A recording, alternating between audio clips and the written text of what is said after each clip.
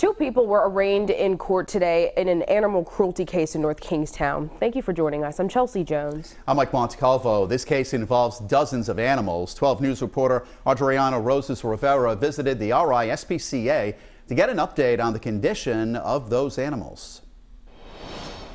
Dozens of animals were rescued from a North Kingstown farm this week in an animal cruelty case. I visited the RISPCA in East Providence, where some of them are being housed.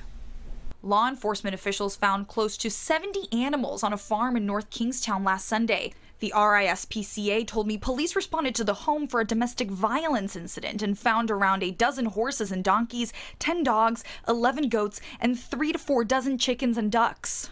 The goats are being cared for here at the RISPCA in East Providence. At least one of the goats has a broken leg, which is going to have to be amputated. We expect that goat will do fine. Most animals can do well on three legs. The RISPCA told me the animals had very little food and water. One of the horses was in such bad condition it had to be euthanized. Uh, the horse was literally skin and bones uh, and barely, barely standing uh, and clearly in distress. A veterinarian was also able to save another horse in poor condition. Salvatore Carfora, who owns the farm, and Sierra Cunningham were arraigned today on animal cruelty charges in the case. Cunningham also faces two domestic violence charges. The animals have all been put in foster care, and a veterinarian is monitoring them.